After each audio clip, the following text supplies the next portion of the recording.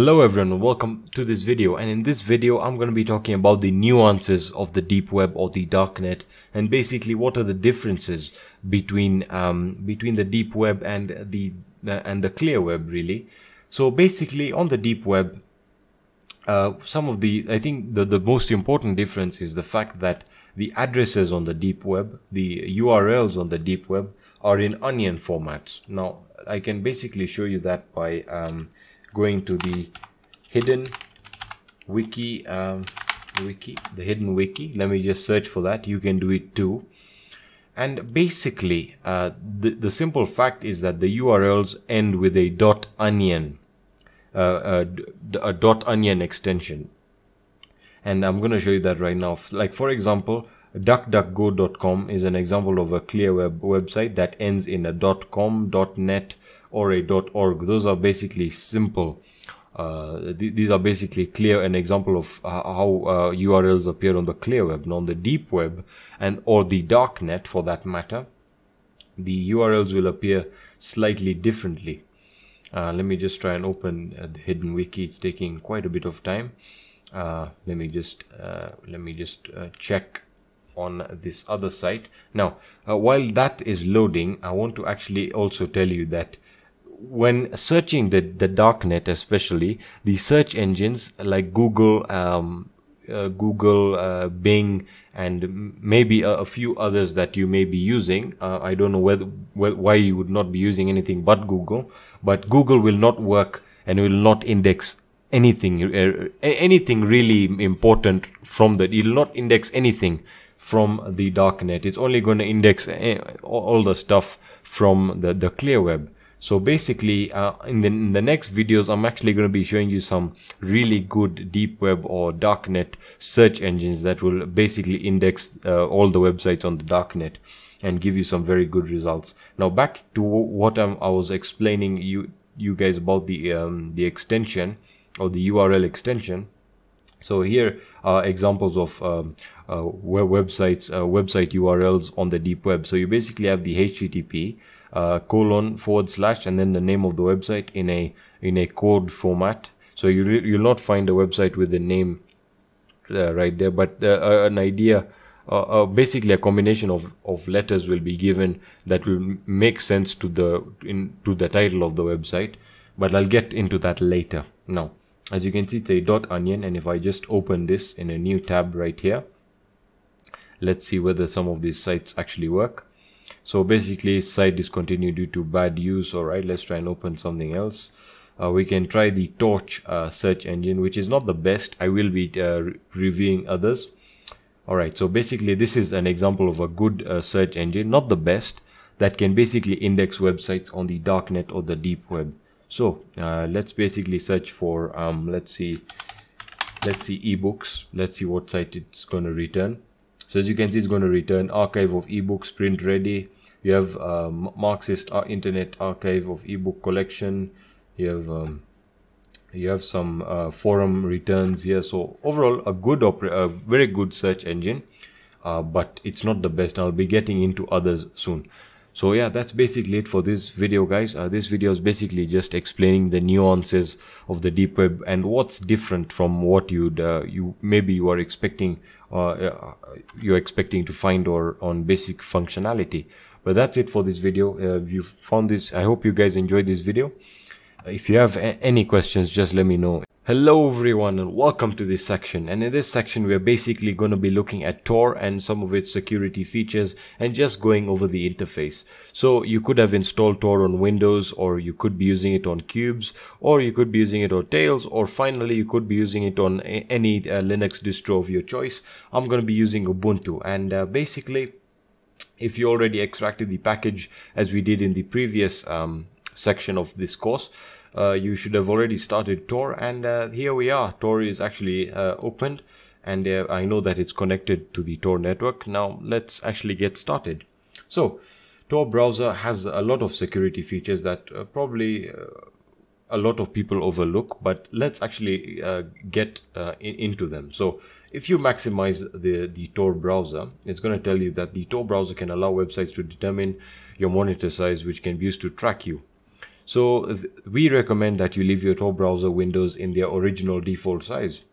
Well, that's actually a precaution that actually makes sense because uh, obviously if you visit a website, it has to basically um, form the website to your the, the the device that you're using the resolution of the device that you're using which you see very commonly nowadays. If you visit a website on your mobile device it'll basically contort to the resolution of the mobile device.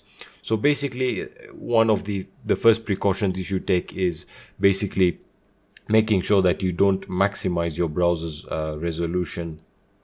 And it just makes it a, a, whole lot easier for them to understand what device you're using and from there they can basically begin targeting you and and all of that really. It's all uh, got to do with uh, security and uh, anonymity. Now uh, most of you have already noticed that this really isn't um, a, a very normal browser. And as you can see it's uh, if you go to this little onion icon here it's going to say uh, Tor is enabled. Now when if you click on it, it's going to say new identity, new Tor circuit for this site. And uh, it's going to say security settings and the Tor network settings. Now, we, we basically want to hit uh, new identity, all right? And what if we hit new identity, it's basically going to start a new Tor window. Now, we can either do that or we can just start from here. So I'm going to hit no. Now, let's try and visit a website like google.com, right? And let's see what what it pops up. I already know that it's connected to the Tor network.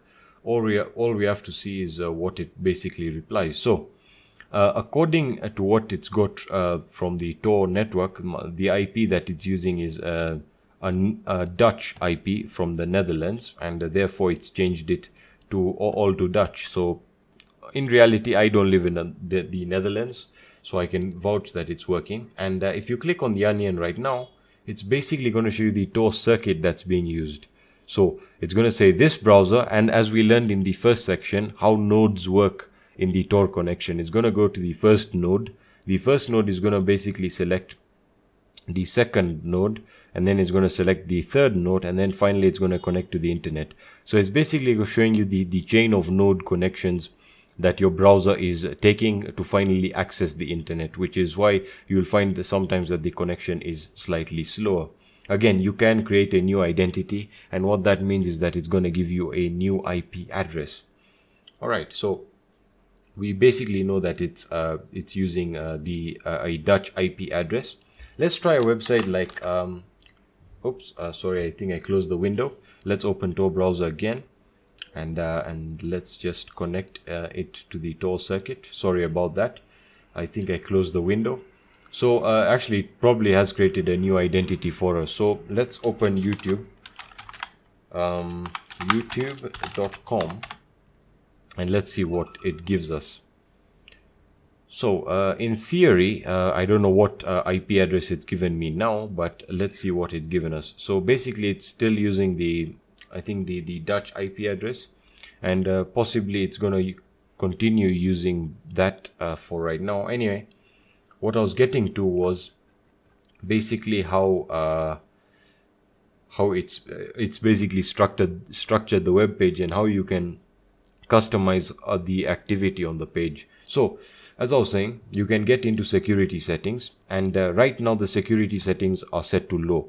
That means it's basically going to work like a normal browser and it's not going to restrict anything really um, let me just minimize this ad now if I hit medium alright at this level the following changes apply. Alright JavaScript is disabled by default on non-HTTPS sites. So uh, YouTube is a HTTPS site so that means it's still going to be enabled. Uh, HTML5 video and audio media become click to play via NoScript so they'll not autoplay any videos.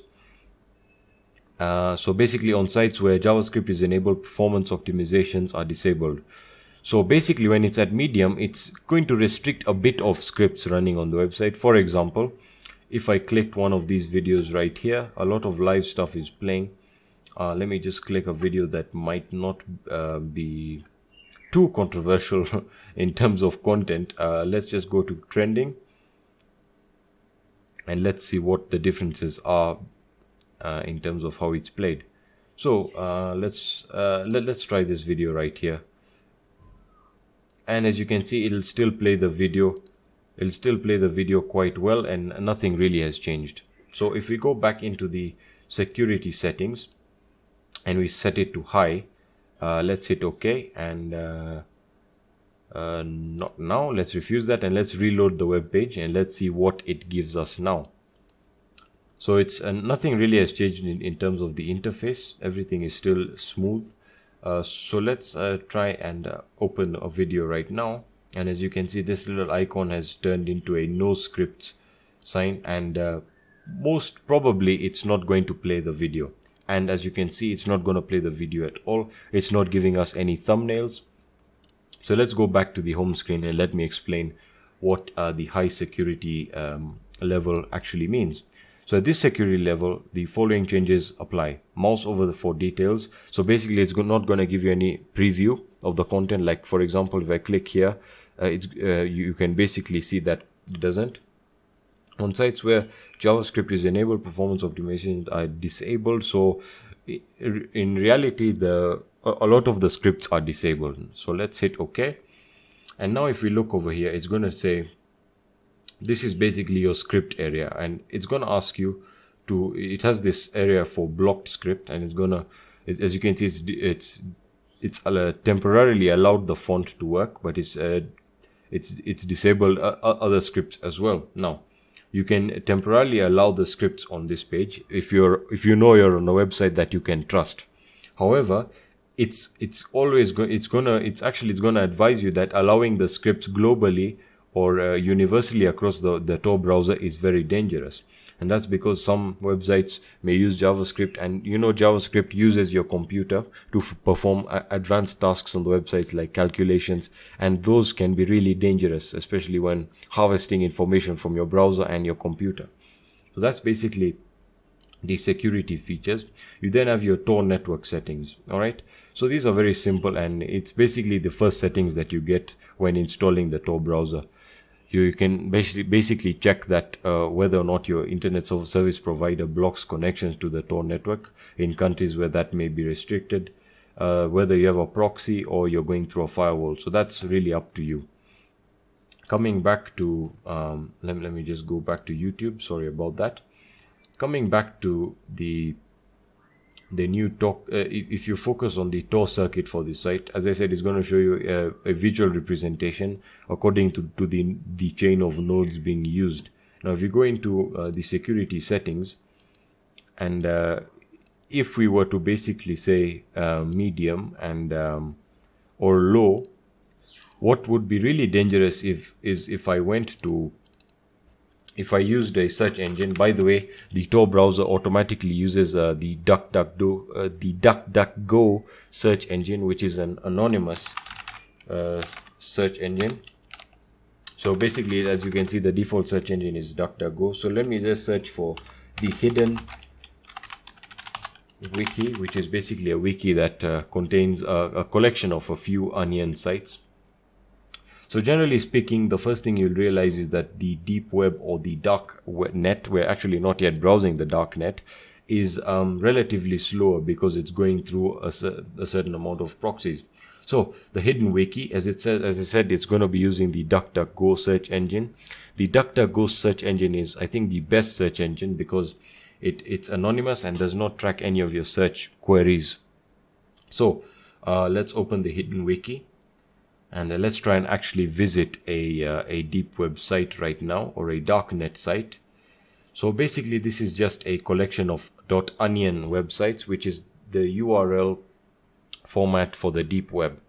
Uh, for most of you don't know, it does not end in .com or .org, uh, .net. Really, the in terms of the deep web or the darknet, all websites end in a .onion format. So if I was to just find a website on the hidden wiki, you can try this for yourselves. Um, most of the websites will not work, but if you can find one that works, uh, it'll be a good starting point for you to understand how this works. So I'm basically going to try and click on a on a link that may not be um, that may be working. For example, this market this market website that may be dealing in firearms you have a lot of illegal uh, um, illegal content right here which uh, again i as i mentioned in my disclaimer i'm not going to be responsible for if you get involved into this. But anyway um, let me try and find links that are working. As i said one of the the most common problems you'll be encountering on the deep web is the fact that links don't actually work and some of them will be dead. So the real challenge or the adventure is finding uh, links that are working. So let's actually try and find a website that's working so that we can uh, I can basically show you how it works uh, before we end this video. Uh, no site wants to work today. Uh, let's try the Twitter clone. Excuse me. None of those sites want to work. Um, let's try a hacking website right here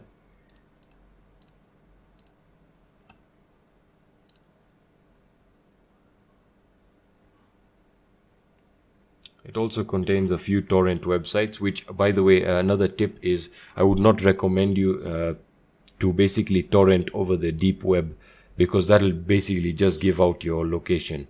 I will get to uh, in I will get to advanced anonymity settings and configuring basically giving you full anonymity where you, you, you it cannot be traced back to you. But that's coming in the future videos. So we've actually got uh, our first deep web website and as you can see uh, this is an ebook website called the imperial library. And uh, it's saying there are 103,448 books on the library. So you can basically just check this out. And uh, let's check out science fiction for example. You have Star Trek. You can download it or read it. Again this may be illegal and I don't encourage you to do that. But at the end of the day you can use uh, you can use this information to do whatever you want. So that's basically it for this uh, video guys. Thank you so much for watching. Hey guys, welcome to this video and in this video I have a very very fun and exciting video uh, for you guys. Uh, basically we're going to be looking at the best uh, deep webs or darknet search engines out there. So basically I've I've got about four that I think are the best uh, search engines that you can get. Uh, one of them that you might want to include is DuckDuckGo, but it's not the best for the deep uh, for the deep web or the dark net. Now, the first one I'm going to start with is uh, Ahmia or AHMIA. I don't know how you can pronounce it, but basically this is my personal favorite because of how many results it uh, turns up. So let's say I want to search about. Um, let's say uh, let's say a conspiracy theory. So let me just let me just type a conspiracy theory. Let's just search a very very simple a generic. And as you can see it's going to give uh, it's going to give the thing I like is it's very well designed. It it basically has a very clean user interface. It displays the results in 0.05 seconds.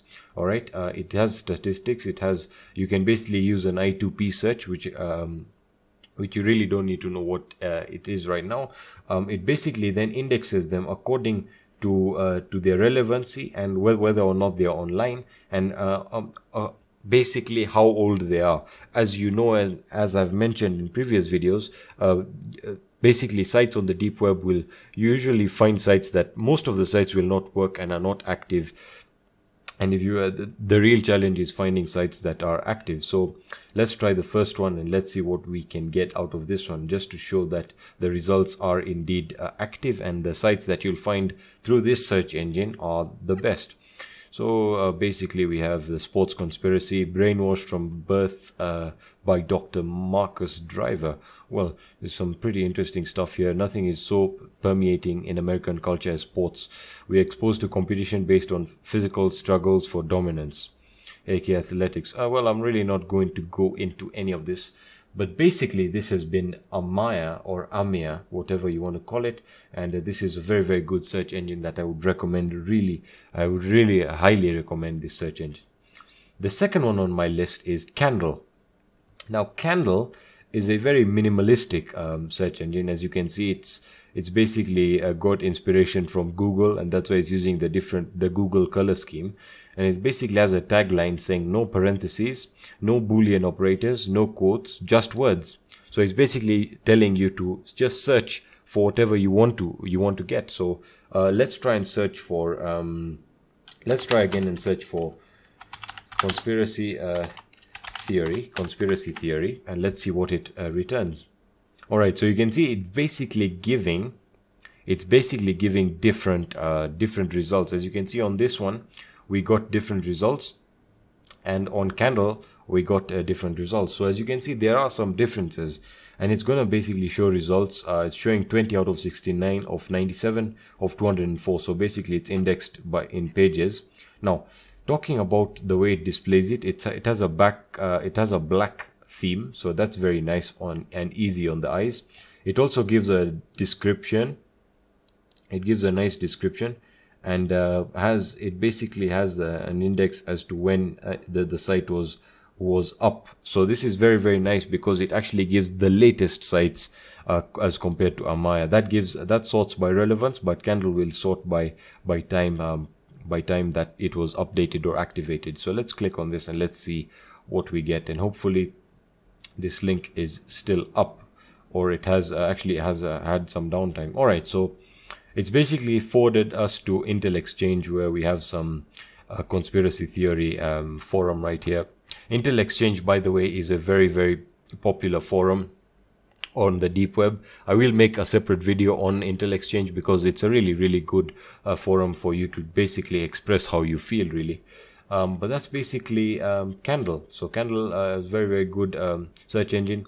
And by the way, this all comes down to personal preference, really everything is up to you and uh, whatever you deem comfortable for yourself the third one is not not evil uh, basically not evil uh, is a very simplistic search engine uh, that basically gives you uh, the ability to index whatever you're searching in terms of titles urls or you can use both all right so uh, you can basically search for for keywords so i'm going to basically search for conspiracy theory. I'm just going to be using this just to show the differences between the two set, the three or uh, and other search engines that we're going to get to in a few moments. So I'm going to make sure it's uh, it's, it's using uh, titles and I'm going to search and let's see what results it uh, turns up for us. All right, so as you can see, there's, there's some stuff that's kind of different here and uh, uh, you'll find something we have something here in Russian and uh, this uh, basically it's it doesn't um, my in my opinion it doesn't sort everything in a very neat way or an intuitive way that uh, people are accustomed to especially when it comes to search engines that would probably be the the only down uh, the only thing down about this uh, search engine um, it's called not evil. So let's actually try and open this link right here and let's see what it uh, gives us. It's uh, in russian so i'm guessing it's going to be in russian. It's opening an onion site. It does give uh, a last response date. That means when it was last pinged active.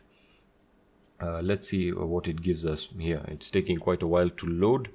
Probably a big page all right so yeah as i said this is a russian website and it looks like a it looks like it's a download website for i think a film or something so really nothing as you can see they give varied results and it, again it all comes down to what search engine will give you what you want. So that's basically it for not evil. By the way, the links will be attached to a uh, to a to a resource folder in in in this section, so you can basically check these links and uh, see them for yourselves. Uh, now going on to the fourth uh, search engine is Grams. Now Grams is basically a search engine that will allow you to search the dark web markets. Now, I will, I'm, the next video is probably going to be about the dark web or the deep web markets. And this will basically allow you to index all of them. So let's try and see uh, maybe something, what you would expect to be sold on the dark web markets. For example, canna, uh, let, us try a very popular one, uh, cannabis. Let's search for gram search. By the way, talking about the interface, it is again, uh, it has inspiration from Google and uh, it has a very nice logo here as you can see basically giving you an idea of what it's all about really it's about basically the markets that that deal with narcotics and stuff like that again i don't um, i don't encourage any of this or condone any of this but again it's up to you uh, really whatever you want to do but anyway uh, let's basically give that a search and let's see what it returns us all right, so um, it's returned an advanced search in and it gives you the amount of time it took to search. um, it has some very cool uh, statistics here that I'll get to in a second. So basically, it's going to highlight um, it's going to highlight this, these two search results, which I'm guessing are sponsored, and it'll give you the vendor, the price in terms of Bitcoin, and the location in which you can in which this thing uh, this company or vendor is located. So 25 bottles of Canazine. I'm really not going to click on any of these links because that's not the focus of this video, but you basically get the idea. All right, so Grams is a is basically a dark web uh, a market uh, search engine, and you basically get the idea. You can search for anything on the dark web markets. Pretty cool. Uh, the last search engine uh, in my in in this video is going to be Torch, and uh, we I we, we basically took a very brief look at Torch in the previous video. Torch is, a, is as simple as it gets, alright? So basically it has these weird uh, links over here, the Tor warehouse and basically what, what I, uh, they basically look like advertisements here. So it's going to say hacking services and really if you want to click on these links, it's, it's up to you really. So again, let's search for conspiracy theory, alright? let's give that a search and uh, it's uh, returned a conspiracy theory uh, right here called the chemtrail conspiracy theory i don't know whether you guys are fans of conspiracy theories but uh, this is a very popular one most probably it's going to be um, it's going to be from all right so there we are.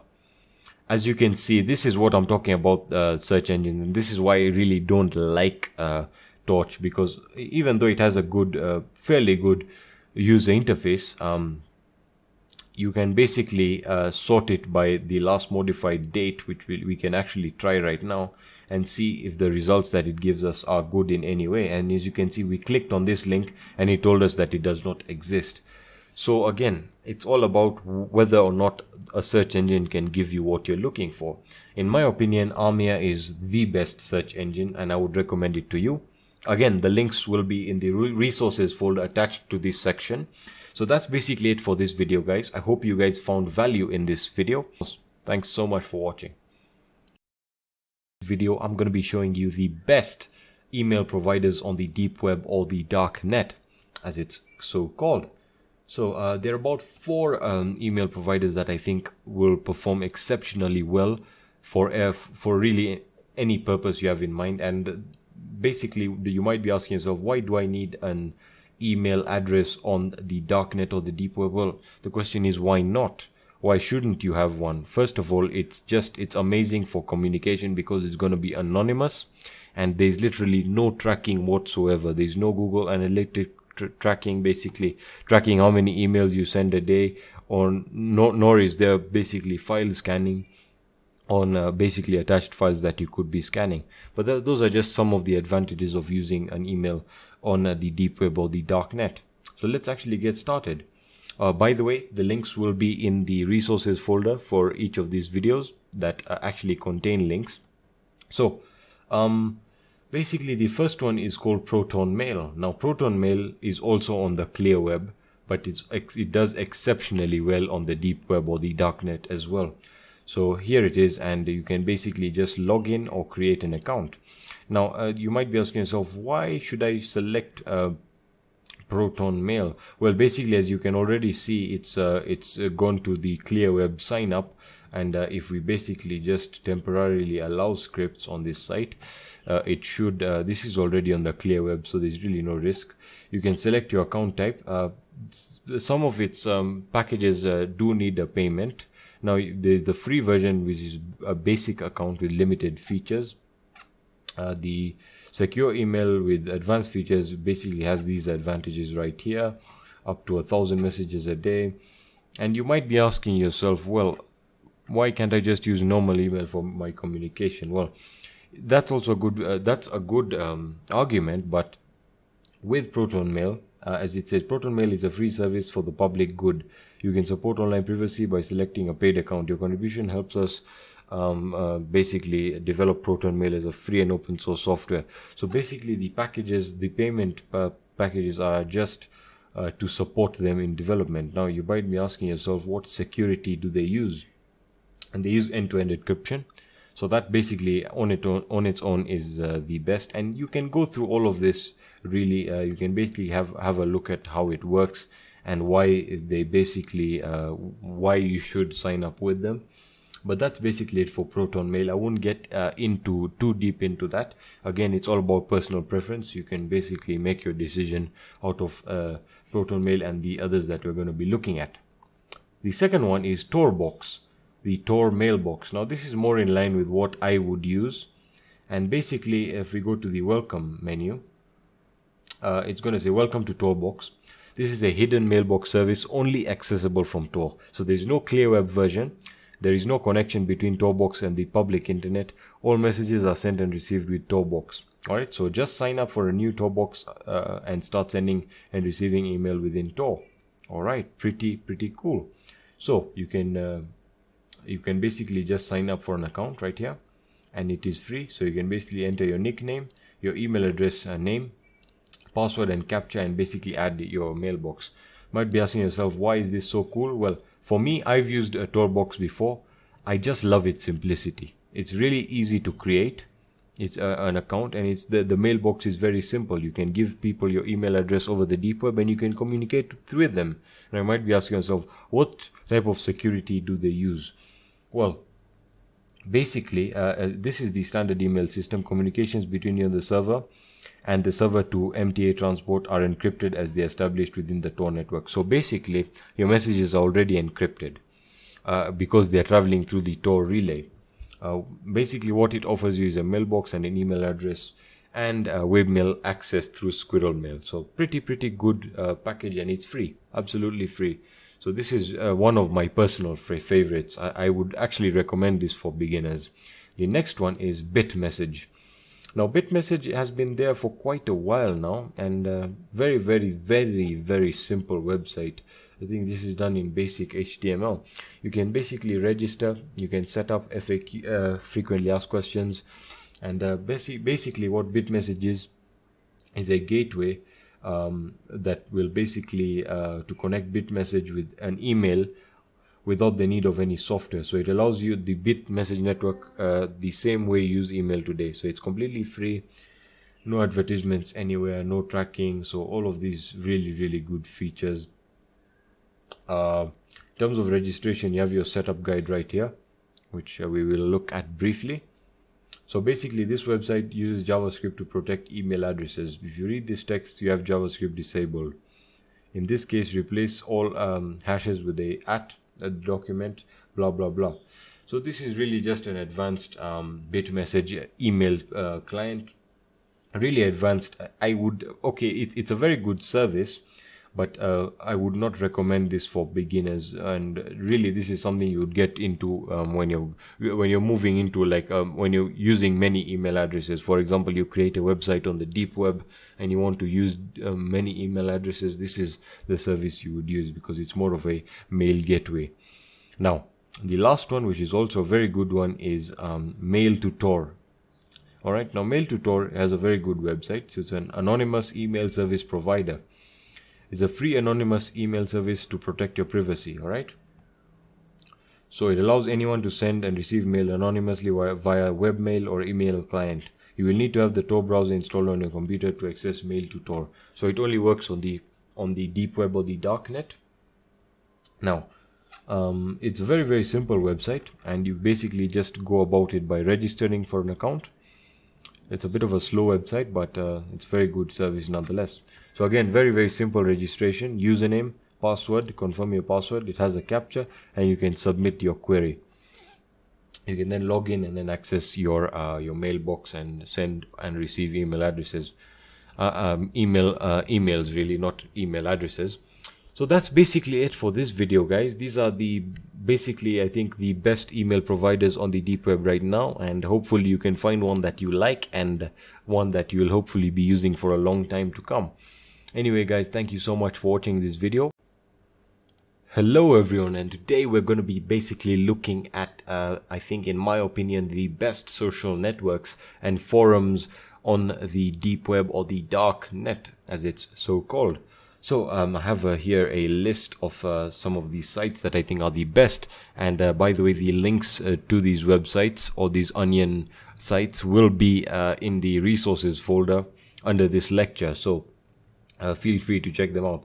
The first one is Galaxy 2, and I think, in my opinion, the most, uh, I, think the most, the best, um, basically forum slash social network uh, on on the dark net or the deep web. And basically, you have, uh, you, you basically have an activity section. You can log in or create an account.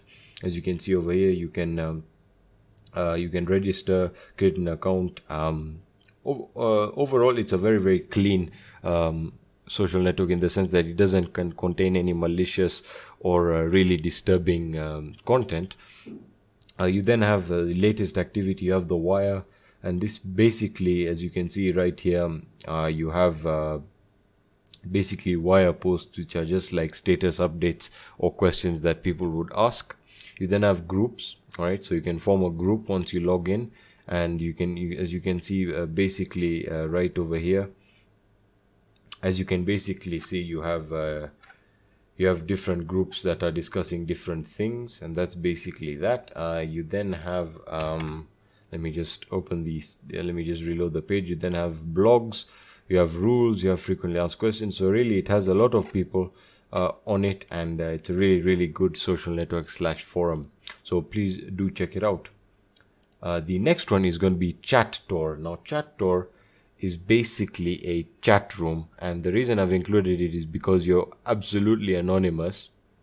And all you have to do is just enter a random name. So I'm just gonna enter um, I'm just gonna enter mine as um, Peter Peter Griffin. And I'm gonna just join the lobby. And uh, it's gonna basically uh, open a lobby up. And uh, you can basically start chatting whatever you want with these random people so overall pretty pretty cool. Um, the next one we're going to look at is um, facebook. Uh, believe it or not facebook actually has their own onion website dot onion website and they basically claim that they are not uh, they don't log your activity uh, when you use it uh, with the, when you use it on the tor network. Um, I, I wouldn't I wouldn't go by their word because they, they don't have it in their in their terms of use because they really haven't um, it really isn't supported uh, all that much uh, when it comes to the deep web. So yeah be, if you want to check it out go ahead. Again just run this at your own risk. All right and uh, the last one is the intel exchange which i did promise that i would uh, give you guys uh, basically an overview of in the previous video. And intel exchange is a basically a forum where you can uh, discuss different types of stuff and i really really enjoy this. You can create an account and uh, you can log in and the reason i like it is because it has uh, it has a, a, very good it's basically organized very well. Uh, it's very simple. For example you have sections like suppressed technology. And uh, with suppressed technology you can basically check out stuff like free energy uh, the zero point or anti-gravity documentary really interesting stuff that deals with the science and technology. So overall pretty pretty awesome so that's basically it for this guy uh, for this video guys